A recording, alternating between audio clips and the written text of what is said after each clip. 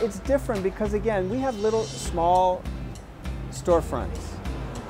We don't have uh, light industrial space. We don't have space where you can build high rises and large office buildings. So the, the tech boom is never going to hit our neighborhood in that way when it comes to jobs.